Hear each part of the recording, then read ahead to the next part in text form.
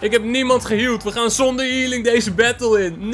Nee, zonder healing tegen Dragon-type Pokémon. Yo, Nintendo fans, super top dat je kijkt naar een gloednieuwe video op je favoriete Nintendo kanaal. En vandaag gaan we keihard verder met de Water Pokémon Only Challenge. Vandaag gaan we proberen om keihard richting Ryan te gaan. De laatste gym badge gaan we proberen te pakken. En daarvoor moeten we deze kant op. En dan komen we hier Hoppy weer tegen. En Hoppy vertelt dat Leon op basis is, omdat hij gedynamax de Pokémon heeft verslagen. Je nog battelen met mij, Hoppy, of niet? Nee, oké, doei. Dan gaan we even keihard achter Hoppy aan. En dan moeten we hier nog even gaan battlen. Oké, we moeten tegen een Steel-type Pokémon. Dan hebben we hier een, oh, een fighting move die niet uh, effectief is, oké?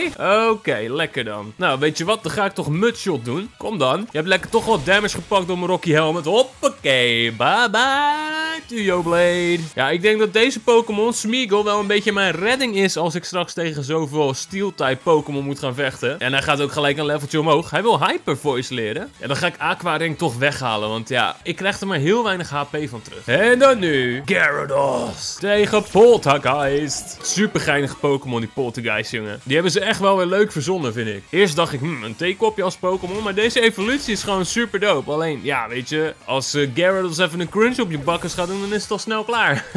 Simeon. Daar mag Davy Jones even mee gaan afrekenen. En dan gaan wij een Psybeam op zijn bakkers doen. Oeh, maar Pessimian is wel sneller. Het ziet er inderdaad uit als een hele snelle Pokémon, deze aap. Zijn defense is omhoog, maar wij doen een special attack. Dus dat maakt niet zo heel veel uit. Toch hebben we even twee keer nodig om Pessimian te verslaan. Maar ik denk dat dat ook wel moet lukken. Alhoewel, Double Edge gaat me wel pijn doen. Dat sowieso. Want dat is een hele sterke aanval. Maar ja, hij sloopt zichzelf er ook bijna mee. En dan maak ik het gewoon eventjes af. Hoppakee, Pessimian. Later, monkey. Doei doei. En dan gaat Gyarados ook even naar level 44. Heerlijk. Die wil nu Hurricane leren. Oeh, dat is wel nice. Dat is een flying type move. De accuracy is alleen echt niet best. Dus het is wel een gokje als je deze move gebruikt. Maar ik ga hem toch leren in plaats van Dragon Dance. Dus hoppakee, Dragon Dance weg. Hurricane geleerd. En Kaden is down. Dan gaan we snel door naar Hammerlock City richting Ryan. Hallo, vrolijke vrienden. Sonja, Leon, Hoppy, yo. Ja hoor, en Magnolia is ook hier zo. Hallo oma. Nou, iedereen is weer bijgepraat. En we mogen weer verder. De laatste badge van de acht, jongens. Daar is die, onze grote vriend Ryan. Die altijd maar selfies wil nemen van zichzelf. ja, hij is de sterkste gymleader in de game. En dat weet hij. Hij voelt zich populair. Let's do this. Duo battles, jongens. Ik heb Davy Jones en Patrick. En dan ga ik maar eerst voor die Sliggoo, denk ik. Dat doen we natuurlijk met Ice Beam. Want ijs, dat is super effectief op Dragon-type Pokémon. Dus dit ging op zich wel chill. Pelipper doet even een tailwindje. En wat gebeurt er daar ook alweer mee? Ik weet het niet meer. In ieder geval, Sliggoo doet een Dragon Pulse op Marini. Nee, op Toxapex, want hij is natuurlijk geëvolueerd. Ja, oké, die doet pijn. Pak hem maar even lekker terug met Liquidation. Hoppakee. Ah, hij houdt 1 HP over. Dat vind ik altijd zo zuur, hè. Als ze maar 1 HP'tje overhouden. Pelipper is nu sneller. Doet even R slash op Octillery. Ja, ze doen me best wel veel pijn. Sliggoo is ook sneller nu. Wat is dit nou weer, jongens? Waarom zijn de Pokémon van hem veel sneller dan die van mij? Ik ben ook nog eens flinched. Dat betekent dat we Sliggoo nog steeds niet hebben verslagen. Want dat was de bedoeling dat ik dat met Octillery zou gaan doen. Oké, oké. Deze trainer pakt het wel goed aan. Je bent terecht een van de pupillen van Ryan. Je doet het best wel goed. Ik weet alleen niet zo goed wat een Pelipper bij je doet als je van Dragon-type Pokémon houdt. Maar goed, dat is een andere vraag. Zullen we nu even finishen? Hoppakee. Sliggoo is in ieder geval nu wel weg door de Ice Beam. Baba! Sliggoo is super cute. Zo'n leuke Pokémon. En dan nog even een Poison Jab. Hoppakee, op Pelipper. Oh man, je gaat niet mijn Pokémon beaten, hè? Je gaat... Oh my gosh. Oh, Patrick heeft nog 1 HP over. Wauw, echt 1 HP. Holy crap. Oké, daar hebben we even geluk. Maar oké, we hebben deze gewonnen. Lekker. Deze was niet echt makkelijk. Ja, en dan hebben we nog twee battles te gaan. Potverdorie. En hopelijk heeft zij dan ook een water Pokémon bij haar. Ninetales en Turtonator. Nou, dat is niet bepaald water. Ik ga vol op Ninetales. En Ninetales, die, uh, ja, die is mij lekker aan het burnen. Bedankt hè, Ninetales. Bubble beam hem even op zijn bakkeroni. Oké, dit doet veel te weinig pijn. Ja, de zon schijnt natuurlijk heel hard. Dat betekent dat wateraanvallen volgens mij wat zwakker zijn dan normaal. En dat zie je wel. Ze doen lang niet zoveel damage. Turtonator doet lekker een Rock Tompy. Nou, lekker bezig allemaal. En als we ditzelfde doen, dan hebben we in ieder geval Ninetales even down. Ninetales doet wel nu Disable. Die is lekker aan het uh, trollen hier zo. Mijn waterpuls is disabled. Potverdorie. Nou kan ik ook mijn waterpuls niet gebruiken. Ninetales, wat ben jij vervelend bezig. Kijk hem nou keihard Rock Tomben, joh, de hele tijd. Die Turtonator. Dit zijn wel goede trainertjes hoor. Potverdikkie man. Nu doet Ninetales disable op Thor. Man, wat ben je aan het trollen Ninetales? Kappen. Hier, mijn Bubble Beam is ook disabled bij Ninetales. Of bij, bij, niet bij Ninetales, ik vecht tegen Ninetales. Bij Lantern, wat de heck? Ze zijn allemaal watermoves aan het slopen. En een flamethrower erbovenop. Ja hoor, tuurlijk. Nu is het klaar Ninetales. Nu heb ik het helemaal ge... Oh, oh, oh, ik dacht even dat hij 1 HP over had.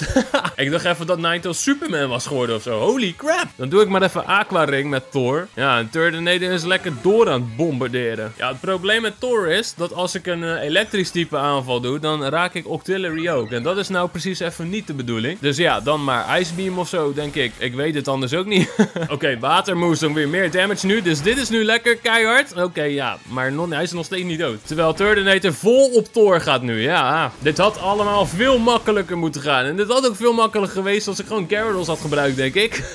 Gyarados die sloopt hem nou wel even. Hoppa. Oké, voor die laatste battle ga ik eventjes voor Octillery en Intellion. Laten we eerst gewoon vol die Hakamo gaan. Die moet eerst even kapot. Snipe Shot is niet very effective, maar doet toch alsnog wel een derde pijn. Dus dat is chill. Ook Oké lekker. Oké, zo moeten we die ijsmoves gebruiken. Obama Snow doet Aurora veel. Daarmee gaat hij denk ik zichzelf beschermen of zo. Ik weet niet zo goed wat het is. Hij is gewoon beter beschermd tegen aanvallen nu. Oké. En door. We gaan hem gewoon kaart aanvallen hoor. Ook al is hij beter beschermd. Obama Snow. Hier, snipe op je bakkes. Ja, niet very effective. I know, I know. Waterpuls ook niet, maar dat maakt allemaal niet uit. Waterpuls was trouwens een critical hit. En als ik een critical hit maak, dan is die nog sterker dan normaal. Dat is super chill met uh, de ability van Octillery. Dus ik moet gewoon zo vaak mogelijk critical hitjes krijgen. Pak hem, Intellion! Ja, oké. Okay. Oeh, Abomasnow doet Razor Leaf. Oeh, snap. Die is super effectief natuurlijk op allebei. Oké, okay, Abomasnowtje. Nou, hier krijg je ook een grasaanval op je bakkes. Ja, dit was ook niet heel handig. Kijk eens hoe weinig damage hem dit doet. Oh, dit gaat allemaal wel moeizaam hoor. Het lukt uiteindelijk wel, maar het gaat wel moeizaam. Ik ben benieuwd naar die battle met Ryan strakjes. Hoe moeizaam die zal gaan. In ieder geval hebben we ook deze derde battle gewonnen. En gaat Smeagol nog even naar level 47. En dan mogen we nu tegen Ryan. Oh ja, trouwens, vind je dit soort video's dan leuk? Doe even een blauw duimpje omhoog. En vergeet niet te abonneren. Daar zijn we dan. In het stadion. Voor de allerlaatste badge. Ryan, ik ga je pakken, vriend. Ik heb alleen wel Octillery op 1. En meestal halen ze een trucje uit. Dan denk je, oh, nu komen er allemaal Dragon-type Pokémon. Dus ik heb een ijstype nodig. En dan doen ze opeens iets anders. Oké, okay, Gigalith en Flygon. Oh ja, dit waren ook duo battles. Interesting. Alright, let's go. Duo battletjes. Gigalith op Sandstream. Super irritant. Oké, we gaan er gewoon keihard voor om Gigalith in één keer uit te schakelen. Snipe shotje is natuurlijk bam, keihard. Hij is level 46, die Gigalith. Dit was super effectief. Oeh, Flygon doet Thunder Punch. Ik heb niemand geheeld. We gaan zonder healing deze battle in. Nee, zonder healing tegen Dragon-type Pokémon. Ik denk dat we toch keihard van Flygon moeten gaan, aangezien die gewoon een watertype, een electric type move kent. Nou ja, hij is in ieder geval down. Oké, ik was bang voor zijn Thunder Punch, maar hij is nu klaar. Gyarados is een level omhoog naar 45. Lekker man, lekker. Oké, en waterval. Sloop ook gelijk even die Gigalift dan. Lekker. Zonder healing gaan we dit doen, jongens. Let's go.